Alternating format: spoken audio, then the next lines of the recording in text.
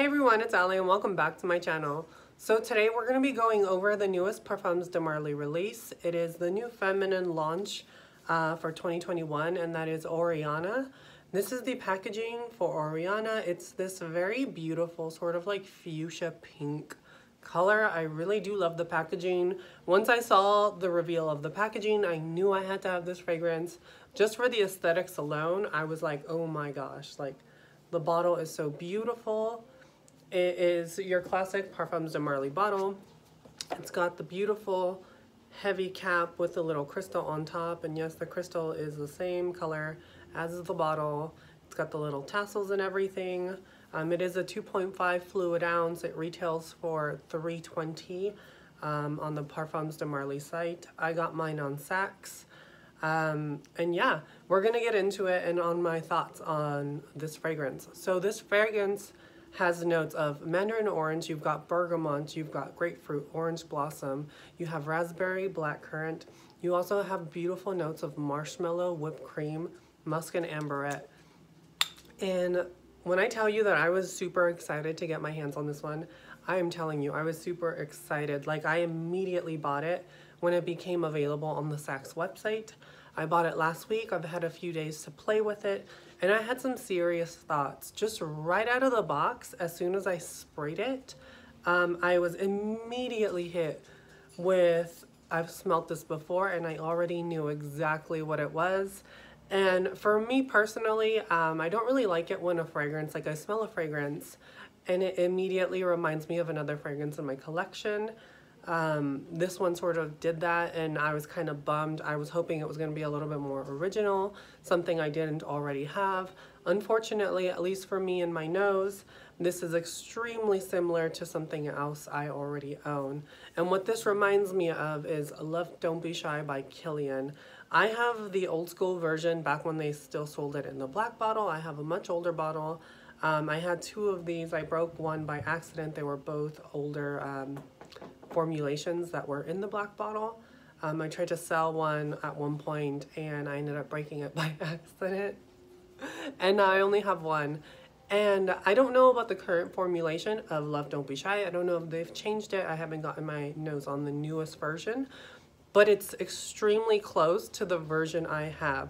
But it's not identical, but it almost smells like if Love Don't Be Shy had a baby with Kilian's Princess a combination of these two together is what Oriana sort of gives me. Now with Oriana, when I first spray it, you get a huge burst of citrus, which you don't get in the Love Don't Be Shy. You get this huge burst of citrus. I can smell that grapefruit and the bergamot in the forefront. As it starts drying down, the mandarin starts to become a bit more prominent, and that's primarily the citrus I get from all of this is the mandarin orange. I think the mandarin orange really complements the orange blossom beautifully. This is an orange blossom heavy fragrance. The orange blossom is bam in your face the same way that it is in Kilian um, Love Don't Be Shy. The biggest difference from Kilian's Love Don't Be Shy is there isn't as much citrus um, in Kilian's Love Don't Be Shy as there is in this. This is a citrus bomb, especially in the opening. I get all that citrus. It's really bright. It's really beautiful. I think it meshes really beautifully with the marshmallow whipped cream note that's in this, um, which is why it reminds me of Kilian's Princess. The opening is this vanillic sort of marshmallowy, bright um, sort of bergamot sort of scent that dries down into a more vanillic fragrance. Um, there's a lot of similarities between those two and this. I feel like if those two had a baby, it would be Oriana. Honestly, it's not a bad fragrance. I do enjoy it. The further it dries down, um, I did notice that I, be, I was able to pick up more on the raspberry note.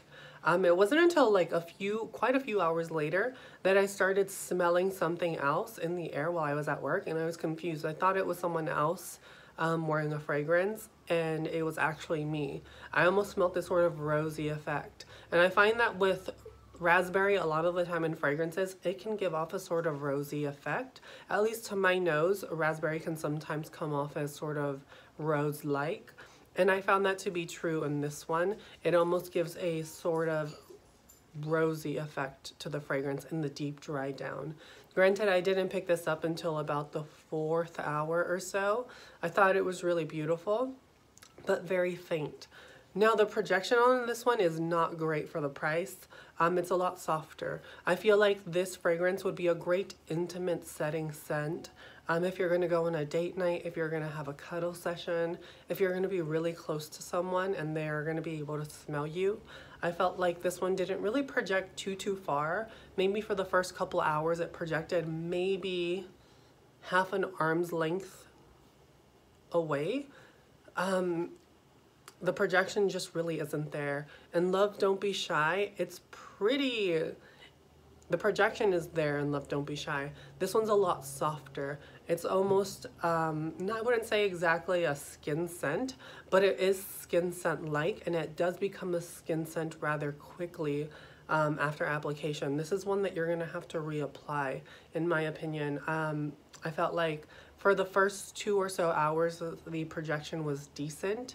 It wasn't like great or ginormous, and it wasn't going to fill a room. Um, but it was definitely still there. But after about the third hour or so, I started noticing it started becoming a bit more skin scent like. And then by like the fifth, sixth, or the fifth and sixth hour, it was basically a skin scent. Like it was, you have to be really close in order to smell it on me. Um, I feel like it does linger on clothes a bit longer. Um, it's not about a fragrance, you guys. It's just, if you're hearing like a ton of animals in the background, I'm so sorry my cats and my dogs are deciding to be super loud all of a sudden and they're all downstairs eating. but yeah, you guys, like, it's not a bad fragrance. Is it my favorite? No. Um, am I a little disappointed? Yeah, kind of. I was kind of hoping to have something a little bit more original, something different. Um, it is a beautiful fragrance. It is very feminine. Um, I find that in Love Don't Be Shy, it can be a bit cloying for some people because it is a lot more sugary sweet. It is very heavy on the vanilla and the sugar sort of um, note that it has that this one doesn't really have in it. So if you were turned off by Love Don't Be Shy and how sweet it is, then this one might be a really good one for you. If you enjoy fragrances like Princess from Kilian and Love Don't Be Shy, and you want some variation in your collection, then this one would be a great addition to add into your collection. If you're tired of redundancy and you really don't need all these fragrances that are like in that same fragrance line and you like to, you know, have things that are different and new, then this one might not be for you, especially if you own uh, Princess or if you own Love Don't Be Shy. This one might be a little bit too redundant to your collection and you might want to save your coin. Also, like I said, the projection isn't really there you're gonna have maybe two to three hours worth of wear and then it's gonna feel like you need to reapply. Um, this will linger on clothes a bit longer, but aside from that, you guys, like, it's not much of a performer. I find a lot of the other fragrances in the Parfums de Marly um, feminine line tend to be a bit more better at projection and just longevity. Um, even with um, the clear one, shoot, I don't know why I'm blanking so hard, but the one that comes in the clear bottle, not Safanad, but the other one, um, Meliora. I feel like she projects and, you know, is a lot better than this fragrance. I feel like this is probably the weakest one out of the entire feminine line, which is kind of a bummer because with packaging this beautiful and like, uh, you would hope and expect it to be just like killer, amazing, and just this projecting bomb the next, you know, big thing since Delina, but this really didn't deliver it for me.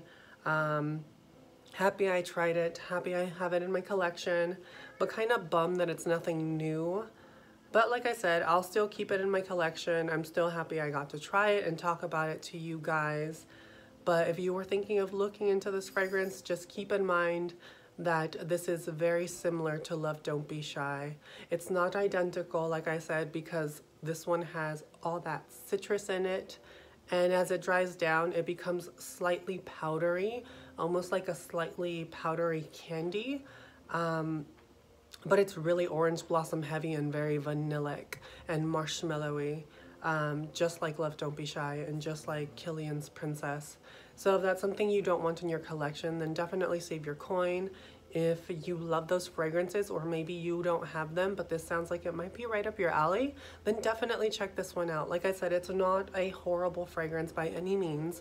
When you pay for Parfums de Marly, you are getting quality, and that's what you get with this fragrance. It is quality, it is a beautiful fragrance. It just wasn't what I was expecting, and I don't know. It's a little redundant, at least for my collection. I feel like this DNA is kind of, it's been done a lot now and I kind of wanted something different and I didn't get that. It was unfortunate, but hopefully the next launch will be a bit better. But like I said, not a bad fragrance. If you want something that's a little musky, just a tad bit powdery, very sweet and bright, then I think this one's going to be a really good one for you guys. I think this one will be really nice for the fall, honestly um, springtime, fall time. You could probably get away with this one in summertime too because it's not that cloying because of all the citrus that's in this. Um, but yeah, that's pretty much my thoughts on um, Oriana. If you guys have tried it, um, let me know what you guys think. Um, like I said, I'm a little disappointed, at least for me, but honestly, I'm glad I got to try it. I love the bottle and this aesthetic. Honestly, I hope that for their next feminine launch, they launch something a little bit more unique, a little bit more different, something that we haven't really had before. I would love a fall time fragrance, maybe in like a darker orange bottle. I love the color orange. Um, that's more reminiscent of fall. There goes the animals again. I am so sorry, you guys. Till next time, I will catch you guys later. Bye.